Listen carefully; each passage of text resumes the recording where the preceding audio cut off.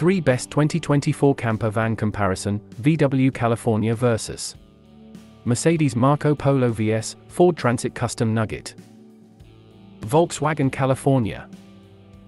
First up is the Volkswagen California, because, let's face it, the majority of camper conversions in Europe come from VW's compact transporter van. Volkswagen owns this space, thanks in no small part to having occupied it since the days of the split-screen Type 2 microbus, and its numerous successors. The California is an institution, and when it comes to the cool factor, none of the other two contenders can the VW's image alone is enough to justify its success, but we're going to ignore that and be a bit more level-headed, judging it on its merits against its two rivals here. That cool doesn't come cheap, either, the twin-tone paint, a pleasing mix of candy white and bay leaf green, costs £2,880, $3,920 USD. That's on top of the listed £66,419, 90,612 US dollars, before the other options, which here include a comfort sleeping mat, driver assistance package, and pro navigation system to bump it up to £71,249 total, $97,201 USD. The most familiar of our trio here, the California feels solidly built inside. It was tested by the Farquharsons, a family of three seasoned campers who've an eye on ditching their tent and buying a van instead. VW sells enough Californias that it offers a choice of models, with the beach model, below this ocean, losing all the cabinets and the fridge, cooker, and sink that occupy them, but retaining the pop-up roof and fold-flat rear seats that provide a decent-sized double bed upstairs and a cozy, read narrow, one downstairs. I say, stairs, but there are none. Climbing up to the roof bed requires a degree of flexibility and strength, to clamber over the two rotating front seats into the small hatch above them. All three campers present these sorts of compromises. Using the sink and fridge, for example, requires sliding the main bed back into a seat or just sitting on the bed, though everyone we spoke to at Camper Calling admitted that they rarely, if ever, use the cooker in the van, as the smell of food lingers in the interior. There are neat touches that underline VW's experience in this marketplace, like the way a pair of camping chairs slot into the large rear hatch and the table into the single sliding door. Meanwhile, the California's touchscreen camper tech, which allows easy control of heating, gas and water tank monitoring, and even a spirit level, is a neat, easy touch. The beds are also comfortable, the roof one more so than the lower one because it doesn't have to double as a seat. The California's 148 horsepower, 2.0-liter turbodiesel four-cylinder engine delivers adequate rather than remarkable performance. The same goes for the handling, which isn't going to entertain you as you while away miles to your destination. Likewise, neither will it annoy, the California being a capable, though unremarkable, vehicle to drive. The fit and finish all feels superb, though some cheaper hard plastics in the cab do betray the California's roots as a commercial vehicle.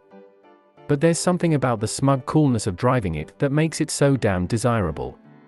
The Farquharsons, and all the kids who were part of the test, agree the VW is the coolest, but that doesn't necessarily put it at the top of the pile here. Mercedes-Benz Marco Polo Given that a Mercedes-Benz badge graces the grille of everything from garbage collection trucks to supercars in Europe, it's not surprising that the company makes its own campervan. Like the Volkswagen, the Mercedes-Benz Marco Polo is spun off the company's compact van offering, the Vito EV Class Emetris, depending which continent you're on. Compared to the more outgoing VW, it flies somewhat under the radar, and despite the premium badge on its nose, it's actually the cheapest of the trio here, costing £62,710, 85,552 US dollars, to start. It remains so even after adding a few options. The Fletchers, a campervan curious family of four, occupied the Marco Polo, and it would lighten their bank balance by £65,760. 89,713 US dollars, as optioned, thanks to the addition of a useful 360 degree parking camera, a side awning, and a better online satnav system. A classy, understated alternative to the VW, the Marco Polo's relatively low pricing comes as something of a shock when you get inside.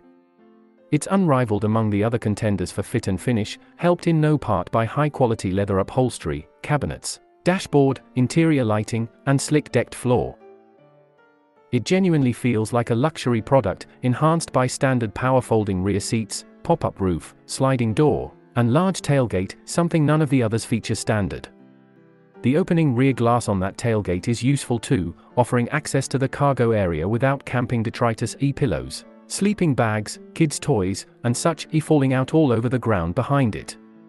The Fletchers loved the overall ease and classiness of it, enjoying how it drove, too.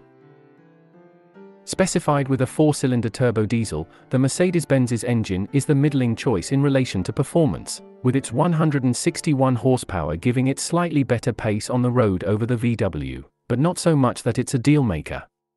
The refinement might be, though, as the Mercedes is quieter and more sophisticated, with finer body control, crisper steering, and a smoother ride than either the VW or the Ford. The Marco Polo and VW share a similar layout, which means you must slide the main bed back into a seat if you want to sit inside or use the sink or fridge or cooker easily.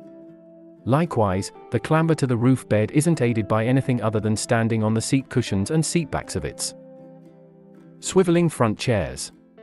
The Fletchers loved its sophistication and quality, and noted, like the others, the upstairs bed was worth the effort to get to thanks to its proper mattress. Overall, the Mercedes lacks some of the VW's clever details, doing without the neat camping seat stowage and smart touchscreen camper display. As such, camp chairs must live in the trunk, and an ancient LCD display monitors camping functions like heating, gas, electric, and water storage.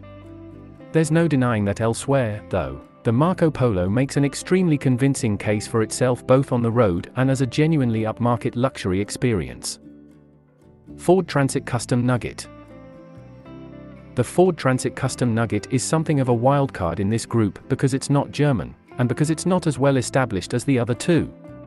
That explains my family taking this vehicle, because while the Fortunes have had plenty of time previously in both the Marco Polo and California, the Nugget is a new one to us. Practicality came into play too, as the Nugget is able to seat 5, which my growing horde required. Not that I'm disappointed, as the Nugget's the most curious of the three, eschewing the common interior layout of both the VW and Mercedes-Benz and trying out something very different.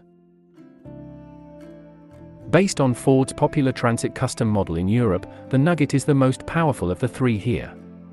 There's 185 horsepower, which means it's actually quite brisk, especially considering you're hauling everything including the kitchen sink.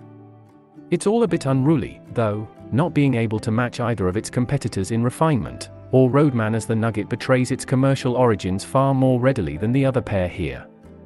That's evident with its fit and finish, which is notably downmarket with plenty of hard surfaces, exposed wires, and sharp metal seat brackets. It's all undoubtedly robust, but not what you'd describe as appealing. All of which makes the Nuggets price a little bit difficult to stomach, because at £67,422, 91,980 US dollars, before options, it's the most expensive here. As tested, with metallic paint, a tow bar, upgraded entertainment nav, and a rear view camera, it's a frankly terrifying £70,614, 96,366 US dollars. The Nuggets got some work to do to justify its lofty price point, and it does so, in part.